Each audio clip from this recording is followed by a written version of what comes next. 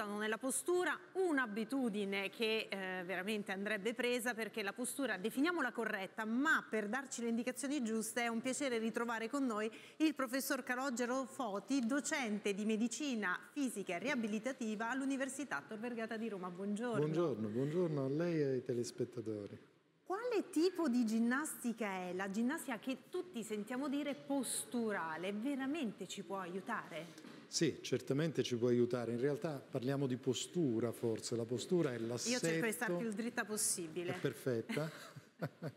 Comunque la, la postura è l'assetto che il nostro corpo assume nello spazio, nell'ambiente rispetto a parti del corpo stesso che è influenzata dalla gravità, dalla forza di gravità ed è importante contrastarla. Ma Esistono diversi tipi di esercizi posturali? Sì, in realtà è importante secondo me da subito definire una rieducazione posturale da una ginnastica posturale, è una mm. definizione che spesso non viene ben analizzata.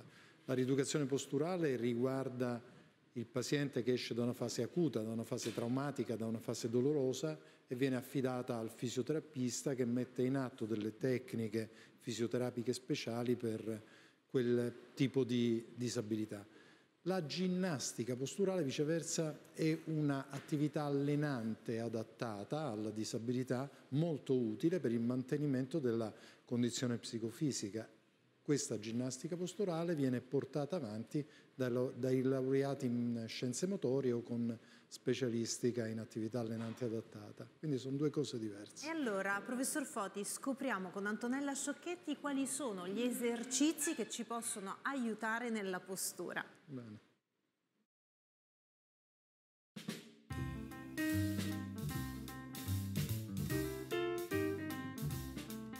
All'età che abbiamo noi, se ci muoviamo, non ci muoviamo, rimaniamo fermi, è un guaio, è meglio, è meglio tenersi in movimento. La schiena deve essere libera per lavorare meglio sulle spalle. Il lavoro di oggi lo eh, facciamo con un focus sulla mobilità della colonna vertebrale, sulla flessione, cioè con i movimenti di chiusura e sull'estensione con i movimenti di apertura, associato anche con la eh, mobilità della spalla e della scapola che favorisce un miglior movimento della gabbia toracica.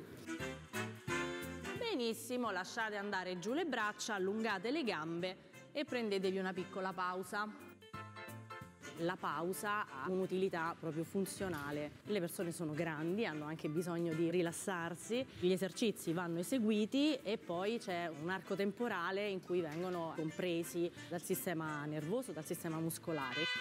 Fate scivolare le braccia sul pavimento fino ad arrivare in diagonale vicino alla testa, ma non attaccate alla testa, e riscendere quando cammino, quando porto anche pesi, riesco a equilibrare di più la fatica sulle gambe, sulle braccia.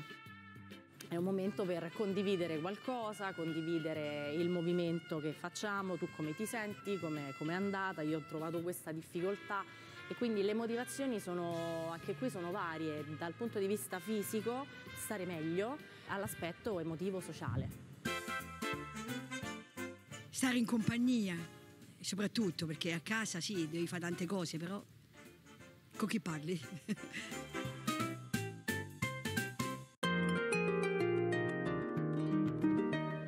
E grazie ad Antonella Sciocchetti abbiamo fatto un po' di ginnastica e abbiamo capito che sono esercizi semplici, professor Foti, Ass non sono complicati da Assolutamente da semplici, da fare in gruppo, divertenti e quindi certamente migliorano la qualità di vita delle persone.